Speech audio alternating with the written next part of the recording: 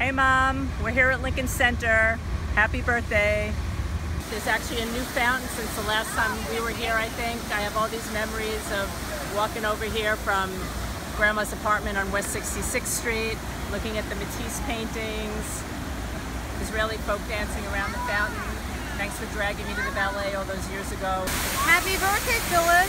That's my sister's name. Happy birthday, Happy Phyllis! birthday, Phyllis. Happy birthday to you. Happy birthday, dear Liz. Happy birthday to you. I want nice found a $241 ticket to see Norma today at the opera, and we know you're at the movie, so I'm standing in front of the Matisse painting that I always loved to see when we would come to the ballet with Grandma.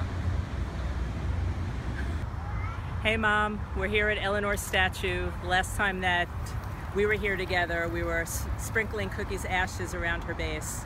But I know how much you admired her. You've often talked about how she was the First Lady of the United States for the first 15 years of your life, so we thought you'd want to see her again. Happy birthday, Phyllis, and many, many more, and be well.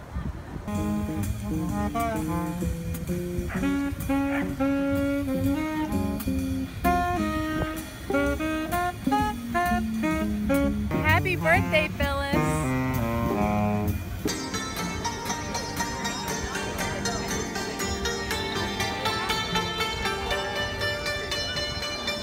Mom, just a reminder that we still have our angels.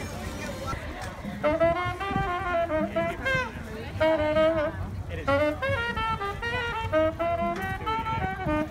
People are good there.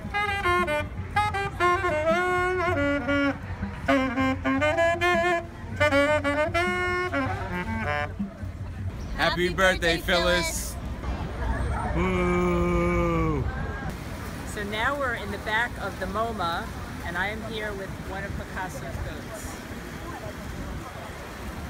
We're still at MoMA. This is pretty. How about this? We just want to show the library some love.